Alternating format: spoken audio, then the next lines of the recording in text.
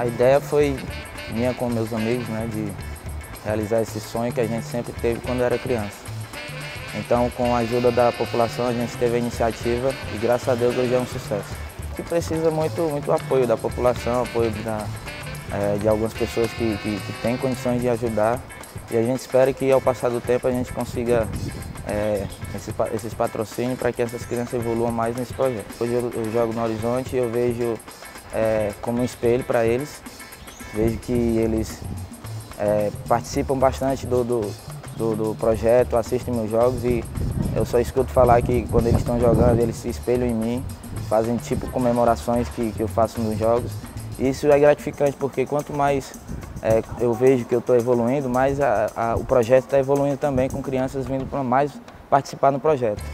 Assim, eu tenho alguns anos a mais que o som, acabei pegando ele bem do início da carreira, mas a gente sempre, ele sempre foi muito avançado, um estágio bem avançado e acompanhou essa faixa etária minha, sempre jogou junto comigo em algumas competições que a gente foi, principalmente quando ele passou do estágio juvenil para adulto, a gente sempre caminhou junto por a gente ser do mesmo bairro, tio de um sonho nosso, onde a gente no começo tinha um pouco de dificuldade de ter uma escolinha no bairro, e aí a gente acabou encontrando espaço para jogar na ABB, que na época era um clube onde dava muita oportunidade para a categoria de base. A gente teve esse suporte, onde foi acabou abrindo as portas para a gente dentro do, do futsal e do futebol. E a gente sempre teve muita vontade de fazer isso para oportunizar as crianças do nosso bairro, que são crianças com bastante qualidade e a gente colocou, já vai fazer um ano agora em setembro, em prática esse projeto e graças a Deus está dando muito certo. O meu início foi justamente nessa quadra. Estudei praticamente aqui durante a minha vida toda até a oitava série. Antigamente não tinha nem essa cobertura. Hoje já está bem melhor. Daqui fui para a BB, onde eu tive uma passagem lá muito boa. E depois fui, tentei jogar campo, na Juventus de São Paulo. De lá então voltei para o Ceará e consegui jogar várias equipes de futsal até que eu conseguisse me firmar e desde já, desde então é o sustento da minha família. Dito que sim, sabe? Eu, é, por, por eu estar afastado há um pouco tempo por conta dos meus treinamentos e jogos, é, sempre quando eu posso eu apareço. E eu vejo que aqui no projeto tem muitas crianças que, que já, já tentam se encaixar bem, bem no, no perfil do que é o projeto. É, tem um treinador que é o, o Viola, um grande amigo meu que é um cara que, que já viveu também da bola e sabe tudo sobre futsal. Eu acredito que daqui saem uns três ou quatro Espero que eles cresçam e que evoluam melhor, do que, melhor ainda do que onde eu cheguei.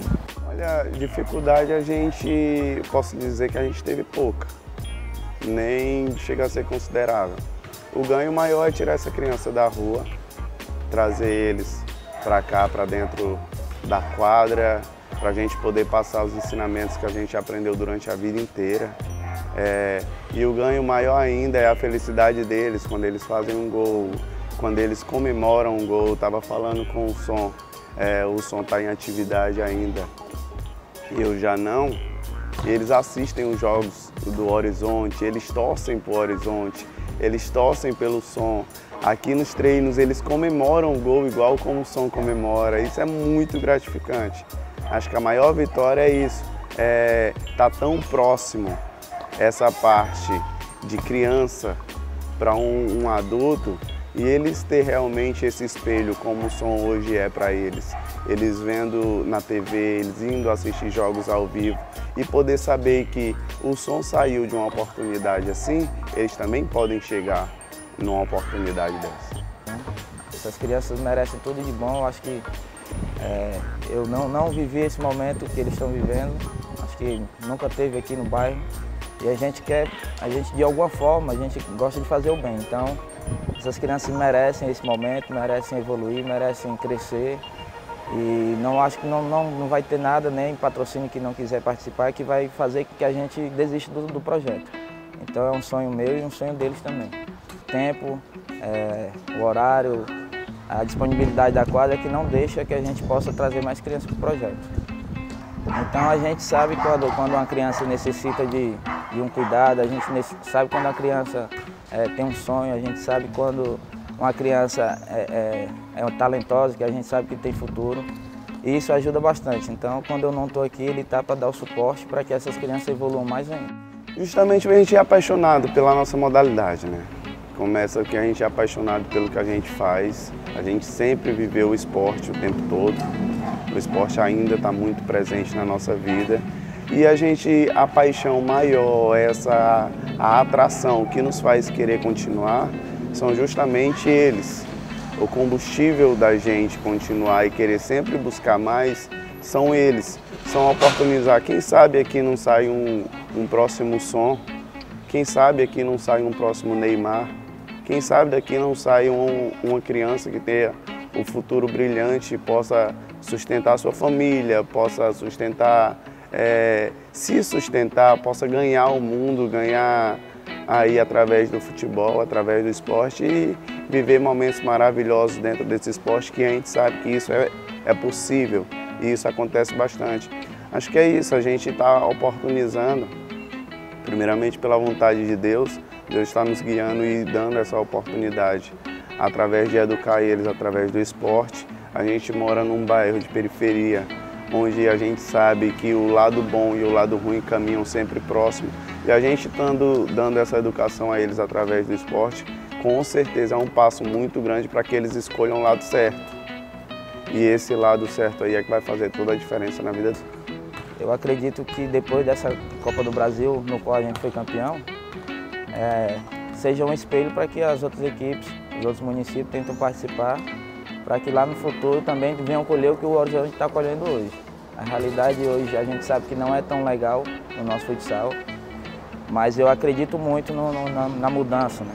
A gente espera que em breve apareçam mais equipes, a gente espera que apareçam mais, mais gestores para apoiar o futsal e acredito muito no futsal. O futsal foi onde eu, é, apesar de eu morar num bairro ditamente perigoso né, pela sociedade, eu acho que o, o futsal ele, ele tira muitas crianças das drogas, traz, tira muitas crianças do, do, do, meio que hoje a gente vive, convive aqui em Fortaleza errado. Então acho que a gente.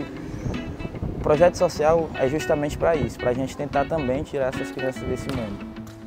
Ah, a importância é muito grande, porque cada vez aproxima mais é, o ídolo que eles têm. O ídolo hoje mais presente que todas as crianças nossas do projeto têm é o som e o Samuelson que está no Jijoca.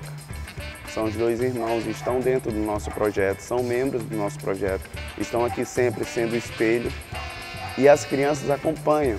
A gente pode se dizer como as crianças, quando não tem esse ídolo próximo, eles buscam o Neymar, buscam o Messi, buscam esses outros que são um pouco mais distantes. Mas eles estão vendo um espelho, estão vendo que é possível aqui dentro. E a gente acaba dando a oportunidade deles irem atrás de assistir aos jogos. Eles já tiveram a oportunidade de, estar dentro do ginásio assistindo o jogo do Horizonte e vendo o som fazer gol, vendo o som comemorar. Isso é muito bom, isso é muito prazeroso. Tem a vontade, sabe? Mas quem me conhece e vê já sabe que, que um deles já tem, já tem o instinto do pai, do pai dos irmãos, do, dos avós. E eu deixo ele bem à vontade, mas sempre ele vê é, como um espelho. Eu sempre levo nos jogos para eles verem como é. E a emoção bate, eu vejo que a emoção bate neles. Então, se for de ser jogador ou não, eu vou estar sempre apoiando. A minha maior emoção foi justamente esse ano, porque eu passei por um momento que estava desempregado, é, muitas pessoas não acreditavam em mim e eu sempre consegui, é, continuei meu trabalho focado, sem me preocupar com o que falavam. E graças a Deus, Deus é, reservou o momento, principalmente da final, para que eu pudesse dar a volta por cima.